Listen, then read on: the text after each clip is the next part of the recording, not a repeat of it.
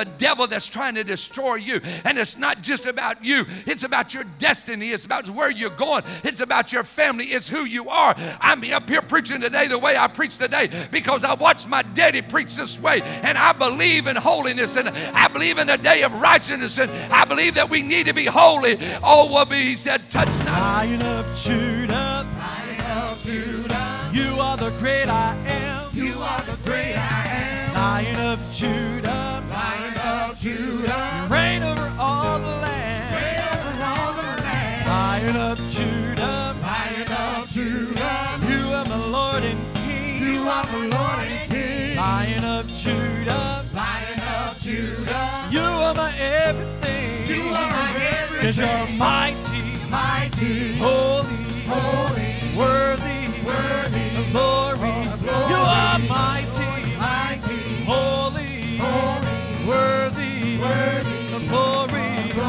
the name of Lord Jesus Christ. We're excited what God is going to be doing here today at Paxon. Stay tuned because something great is about to come your way. Go ahead and start getting dressed so you can be in this great service today. I'll be back right after this. You don't want to miss that Wednesday night service. It's an awesome time in the Lord where I get to preach, I get to pray for fo- uh, you know, folks. I, I have more time to give personal ministry. Make your plans to be with us every Wednesday night right here at the Paxon Revival Center Church.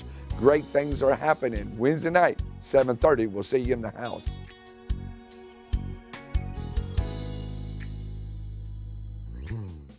You don't want to miss Friday morning. Every Friday morning, great things are happening. I will be praying for the sick. If you need a miracle from God, you want to be here every Friday morning at 10:30. It is called a miracle service because miracles take place. Make your plans to be with us Friday morning, 10:30. Bring someone that needs a word from God. Oh, I'm excited what God's going to be doing great here today at the Pax Revival Center Church. Three great services early worship at 10 a.m., 11 a.m., and 6 p.m. revival service tonight. We're excited what God is doing. Do you need a touch in your life? You want to be here. You still have time to help us on the mission trip. I'm going to tell you about the mission trip and what God is going to be doing. How they, uh, as we go into Haiti, our men go into Haiti, taking 20 tons of beans and rice, uh, uh, tons of clothes, uh, all kind of good stuff we're taking, and you can help and be a part of it. I'll be back right after this. Here we are, and as you see, people are chasing us for miles and miles to get beans and rice. Last year we take 12 tons of beans and rice. This year our goal is 20 tons of beans and rice. All, uh, all we needed you to do is just help us to buy some beans and rice. We promise you every dollar that comes in will go to buy beans and rice. We don't take nothing out for us, nothing out for travel. Every dollar goes for you know for beans and rice. I walked in, uh, which in this little village, and uh, we got off of the truck, and after the people was grabbing and shaking, and we walked in this little village, and I had heard for a long time that people in Haiti eat dirt. I just kind of throwed it to the side. I walked into the villages, which and this is what I saw.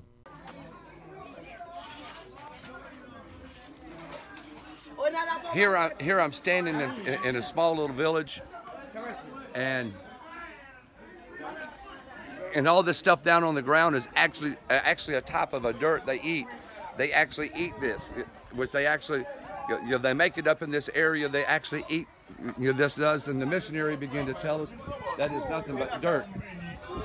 It's nothing but dirt.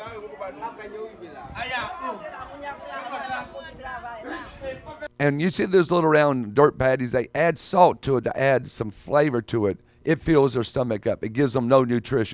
But I'm going to go and take beans and rice in the name of Jesus. I'm just excited that we get to go and bless somebody. Before the earthquake, our missionary says that uh, that you know there was not tons and tons of Christians, but after the earthquake, because of the love of of, of, of the American church and Christians went down there and loved on them so much that it's almost 70% now Christians in Haiti. How do we need to get it up to 100%? And by us giving to them, it shows the love of Jesus. And there's three different ways that you can give. You can call the church office. Uh, you know that is uh, that's Monday through Friday, and give it on a credit card or you can go online to PaxonRevivalCenter.com and hit the donate button and say, I want to give to missions. Or you can just sit down and write a check and send it to the church office, and uh, all the money will go. We just want to ask you that. You know, I don't do this a whole lot, but I will do it to help people that are hungry.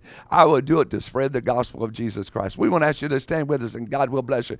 Oh, I hope that you pray about helping uh, Uh, which our mission program, spreading the gospel of Jesus Christ around the world. You don't want to miss the service today. It's going to be an awesome time of the Lord. Remember, you can go to our, our which you can go to our webpage, PaxonRevivalCenter.com, find all the information about the church into the preaching of God's First word. Peter chapter 5, verse number 1. The elders which among you I exhort, who am an elder and a witness of the suffering of Christ, and are also a partaker of the glory that shall be revealed. Feed the flock which is among you, taking oversight thereof, not by constraint, but by willingness, not with filthy legal, but for uh, uh, but a ready mind. Neither as being the lords over God's inheritance, but as the examples of the flock. And when the chief shepherd shall appear, you shall receive a crown of glory that fadeth not away. Like a wise younger, submit yourself to the elder. And he says, subject one to another, and be clothed with humility. For God resisted the proud and he gives grace to the humble. Humble yourself, humble yourself under the hand of the Almighty God that he may exalt you in due season. I wish I had time to preach that. You preach it that this is our due season when you humble yourself. Cast all your cares upon him, he cares for you. Be sober. The devil, the, uh, the adversary, you have an adversary, the devil, as he's roaring about, seeking whom he may be, uh, he, what he may devour, you may be seated. One translation put it like this Keep a cool head and stay alert. The devil is supposed to pounce, uh, and would I nothing better to catch you napping. Keep your guard up. You're not the only one plunged into these hard times. Yes, that's true. It's the same with Christians all around the world. So keep a firm grip of your faith. The suffering won't last forever. It won't be long until this generous God who has great plans for you in Christ.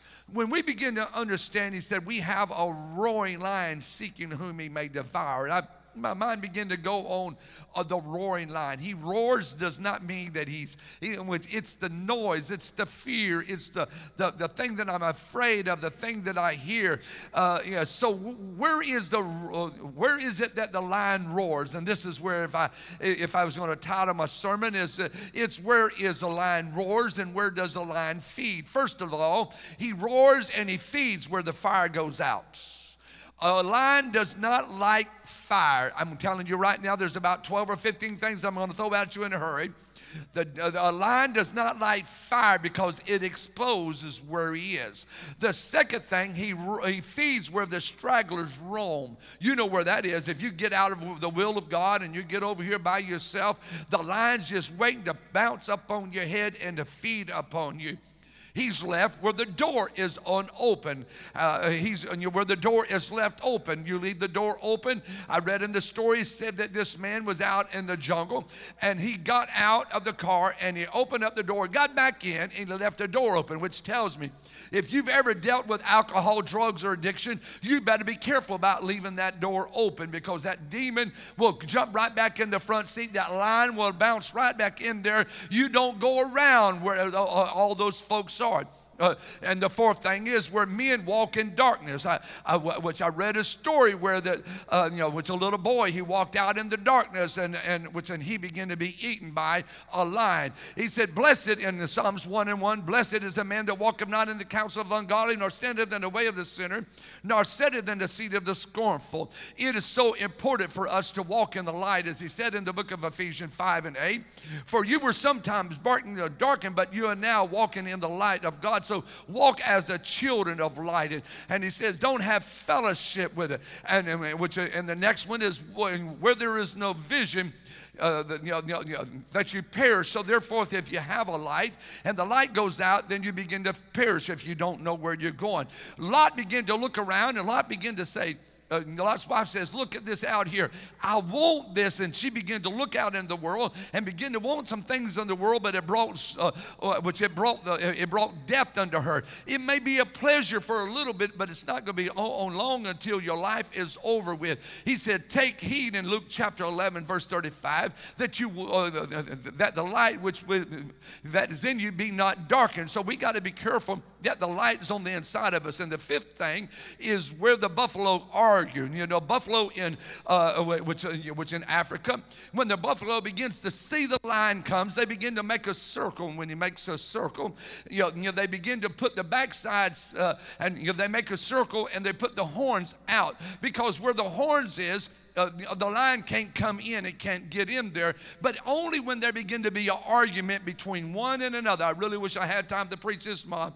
You, when they begin to be an argument one between another and begins to be a division, then the lion begins to get in and get behind them. How can walk, uh, Amos said, How can two walk together except they agree? It is so important for us not to let the devil take advantage of us by getting into our life. It's so easy for us to let something get in our spirit and bother us, but we got we are the children of the most high God. If we're going to be used by God, you are going to be attacked. The devil is going to come up against you, but you are the child of God. You've got to stand together. The big old lion will come in, and the lions do not like to eat where there's a little dog because the little dog will always bark and the little dog, uh, dog will always let uh, the sound of the animal, uh, you, know, you know, the sound, uh, uh, and the dog can sense something. Real children of God can sense what's happening. Uh, you know, dogs can tell something that is coming down the road. It is very important for us to be able to be sensitive to what the Spirit of God has in our life. And number seven, is where there's an oversight uh, is absence. Uh, it, it, which it tells me, uh, which in the story that I read, that this cattleman had his cows out there in the field and he didn't have his light on, uh, and, which, and he left the cattle out there all night long. And, and, and he get up the next morning and this cattle was gone because he oversighted it. He did not think it was going to happen. We have to be careful with sin and addictions and problems in our life because we say, it can't happen to me. I cannot fall that way. I cannot, it, it, won't happen to me. The devil come to steal, to kill, and destroy, but Jesus said, I come that you might have life and have life more abundant. And number eight is where the word is disobeyed. You know, this young boy, you know, he said, Dad, I'm going to go deer hunting. And Dad says, Don't go too far away from the Jeep. Don't get between me and, uh, uh, you know, you know, and, which, and, and, which, all of a sudden the dad seen uh, out in the woods, he seen the lion. He told the son, Be careful, don't go out that way. But the son was disobedient and begin to go out that way. We have to be careful when we get out of the will of God, the line is waiting on you. When you get away from living like you're supposed to be living, and doing what you're supposed to be doing. Well, Pastor, what am I supposed to be doing? I don't have to sit here and read the 99 do's and don'ts. You, the Spirit of God will already tell you. If something's striving on the inside of you, well, you shouldn't say that. You shouldn't do that. You probably shouldn't say that and you probably shouldn't do that. The devil wants to come and mess with you. And, and, and number nine is a lion likes to feed where the waters drink. Where the water drinks, and you, where the animals go down to the water. Can I tell you, there is some lions in the church that's roaring around in the church uh, that wants to hand, uh, hurt folks and hinder folks, and, uh, and they want to talk about folks, and uh, you know, they want to feed on the sheep that is weak in the church. Uh, how the Bible says in, in the book of Jude, chapter 1 and 4, for they are some men that crept in unaware who were of the old ordinance to the uh, condemnation ungodly man turning the grace of god into delicious and denying the only one the, the, lord god and jesus christ you have to be careful with who you get connected with even in the church because even in the church, if they're not giving glory to God, you need to leave them alone. If, if they just want to talk about everybody else's hairdo and what everybody else is doing, you need to leave them alone. You how because the line walking around doing you if they're bringing gossip to you, hello, they're going to take gossip from you somewhere else, and in the middle of the gossip, they're going to drop your name as if you're the one that said it, and it was they that. Oh, I need to hush up. That's a sermon all by itself. If they don't bring you any good news, don't even talk to them. Hallelujah. Hallelujah. Is that my microwave going off? I need to go, girl. Is that my dryer finished? I need to go, girl. I need to check and see if there's someone at the door. You know there ain't nobody, but you just checking, making sure nobody ain't out the door. The Bible said, give no place to the devil. And I don't have time to preach it, but you know what I'm talking about. The devil wants to come in and destroy you. And number 10, where the authority is rebelled. You know, you know the lady uh, was walking outside of the camp, and, and, and the owner of the camp says, ma'am, you can't go out here, but I'm, uh, I'm okay. I'm, I'm okay. The devil will tell you, you okay. You strong enough. You can go out to the club. Oh, I need to hush up. Uh, you can go down to the wall, uh, you know, you're down to the corner. You can go over to that old boyfriend and girlfriend's house. Let me shut up. You can call them and you can do something wrong. Oh, you're strong enough. Uh, but God said, come out from among them and be clean and be holy. You ain't strong enough to leave it by yourself. That's why you got to leave it on the corner. You got to leave it where it's at because where there is no uh, authority, the story said that the woman was eating because it, the Bible said in the book of Hebrews, chapter 13 and 17, obey them that have rule over you uh, and submit yourself. Now, I don't, I don't need to use that word submission, it's a, it's a cuss word in the church. For they watch for your souls as they must give account, that they must do it with joy and not with grief, for that it is unprofitable to you. Uh, number 11 is where there is no defense. Where there's no uh, defense. A, story was that, uh, which a man that uh, was a farmer, he had three, uh, he had three shotguns, uh, shells, and he went out and he seen there was, you know, there was a, there was a big male lion and, and there was two female lions and there was growling coming up on him. He was able to take two of them out and had one left. He began to climb up the tree and when he got up the tree, something happened to his gun. How he was not supposed to be there. He thought that he could handle it by himself. You cannot handle sin by yourself. You cannot handle things of this world by yourself. You got to have the blood of Jesus upon your body, upon your mind. If the devil will come to mess with you, the Bible says it is written that man shall not live by bread alone, but every word that proceeded out of the mouth of God. It is so important for us to have the word of God. This is what our defense is. Our defense is not having a good friend. Our defense is not knowing everything and everybody, but our defense is when we know the Word of God. When Jesus said in the book of Matthew 4 and in the book of Luke chapter 4, he began to say, Devil, get behind me. It is written. You begin to speak the Word of God as I preached this morning in early worship. Angels will get on assignment and angels will go for your rescue and angels will work for you. I come by today to preach to somebody. The devil wants to mess with you, but there's some folks in this church. There's some folks in this church Uh, that you ain't letting the lion growl at you and get you scared. Uh, you're not letting fear. That's why you're here this morning. Uh, I don't care what happened last Sunday. I don't care what happened next Sunday. I don't care what happens in China. I don't care what happens in uh, Africa. I don't care what happens in South Korea, North Korea. I'm still going to believe God and I'm going to stand strong, knowing that there's no weapon formed against me shall be able to prosper. And the twelfth one is where the roar succeeds. A lion will roar at a zebra. A zebra can outrun the lion. The zebra has to make it up in his mind that I've got to get away from this, if not, it's going to kill me. The lion's got one shot at the zebra, and the devil only got one shot at you. Paul said this in, the book of Ephesians 6 and 4 Stand forth, having your loins girded about with the truth having your blessed plate of righteousness. He can roar all that he wants to roar, but I'm going to be like the zebra, I'm going to outrun him. I'm not going to lay around and to think that I can do it. Uh, I know I'm running through these in a hurry. And, and 13, where there's a dead carcass, it tells us if you study on a lion, the lion will kill a little animal and put it out in the middle of the field, waiting for the other animals to come to eat it you begin to hang around dead stuff, dead works, you begin, begin to hang around the devil gonna bring you down. You cannot do it when you hang around dead stuff. He because he loves to catch somebody eating on dead stuff. What is dead stuff?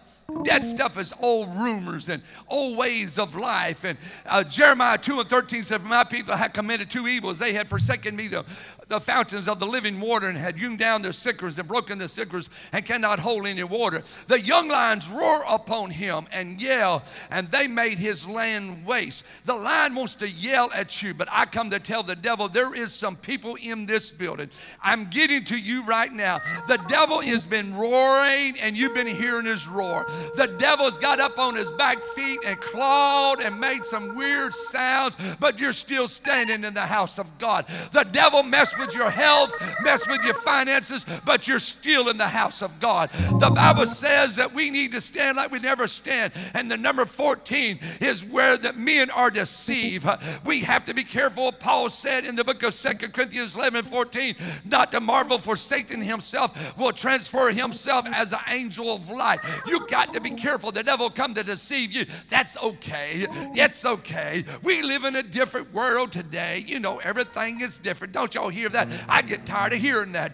You know, that's just acceptable today. Sin has never been acceptable in the eyes of God. Sin is sin, and sin will keep you out of the presence of God. Well, Pastor, I, I believe that grace doctrine. I do too. And that's why I'm saved. Because if it had not been for the grace of Jesus Christ, I would be in hell. And when I messed up, He forgive me over and over again. But we got to be careful. Don't just, just rub the grace in over and over again. Well, Pastor, I can do anywhere that I want to. That's what happened in the book of Genesis, chapter 3. Uh, that Adam and Eve come out and, and the serpent began to be more subtle and begin to talk to Eve and say, It's all right. And I, I love what it says. It says, he began, and she began eating. He said, You wanted to eat of the field. In verse number two of the chapter three, and the woman said to the serpent, We may eat of the fruit of the garden, but the fruit the tree in the midst of the garden, God said, You shall not eat of it. But he come by and he said in three and four, You can eat of this and you can't die. Oh, now we look back and say, She should not listen to the serpent because the serpent deceived her. We do the same thing. When the devil tell, oh, I know I don't need to preach this this morning. After the move of God and everybody was shouting, everybody was praising God, we was having a good time in the house. But now I begin to talk about being deceived. Oh, I can never be deceived. You better be careful lest you think you, well, you know, you, that you are somebody and you die. So therefore, she said, the devil said to her, serpent said, you can eat it and you ain't to die. Let me go on to number 15. Where the foolish stand. Proverbs 14 and 9 says, Fools make a mockery at sin. Fools make a mockery at sin. But among the righteous there is favor. Fools begin to laugh at sin. A young boy had a cage, they had a lion in a cage. The young boy had him a stick slapping the side of the bamboo cage. The cage was locked up. And the daddy says, Boy, you leave the lion alone, you're gonna make him mad. No, I'm, I'm good. And slap it until that lion got mad and tore that bamboo stage apart. He began to break out of it. Why? He began to play the part of a fool he began to mess with it. You can't mess with some stuff. I'm talking to somebody here this morning. I don't know why I'm preaching like this, but I'm talking to somebody. You have a lion that's roaring in your life. You have a devil that's trying to destroy you. And it's not just about you, it's about your destiny. It's about where you're going. It's about your family. It's who you are. I'm up here preaching today the way I preach today because I watched my daddy preach this way. And I believe in holiness and I believe in a day of righteousness. And I believe that we need to be holy. Oh, will be, he said, touch not, taste not, and come out from all. I need of God. I need somebody this morning to understand that we are going to play that place of a fool when the fool has said in his heart, There is no God. The fool said, There is no God. The fool says, in number 16, where man builds a fence. I'm coming back to this next week, but let me hit hit here. A lion loves it when you get a fence and you get inside, you can't get out. The lion loves it when you begin to build a defense.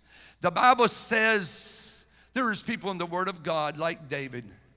David went up to the lion in 1 Samuel chapter 17 and he slew the lion.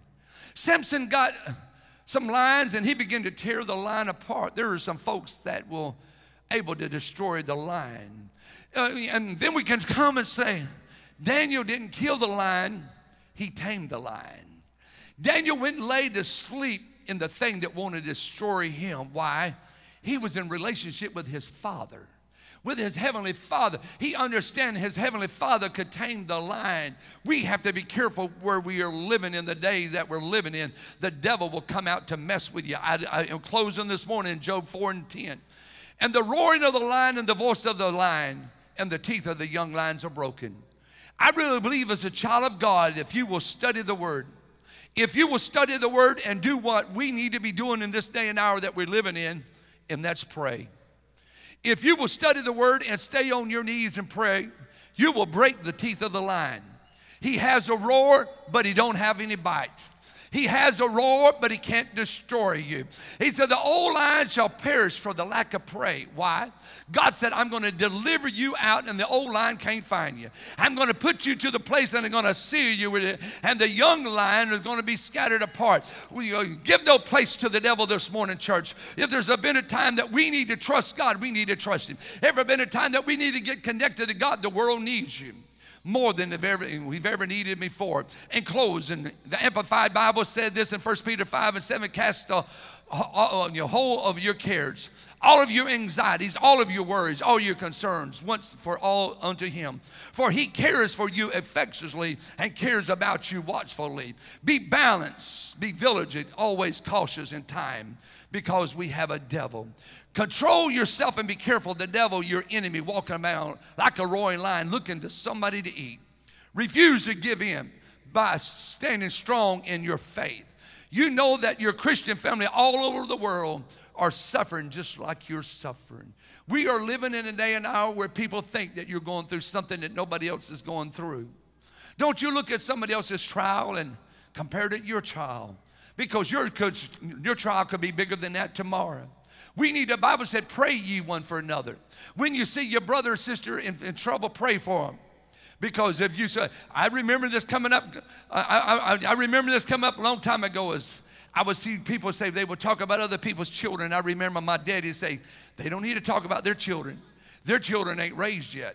They don't need to talk about their grandchildren. Their grandchildren ain't raised just yet. All you, they're out, they're out there breaking in cars. You need to you be careful what you say about them. Pray for them because yours could be the same way. How this is where the devil comes in in our mind and our heart and begins to tell us that we're going to lose. But I come to tell the devil, I got a God on my side. I can hear the devil roar, but I'm going to be like. David. Oh, we're excited what God is doing here today. Today is going to be an awesome time and three great services services. That is 10 a.m., 11 a.m., and 6 p.m. I'll be preaching all three services. Today's going to be awesome time. Remember, there's phone numbers on the screen.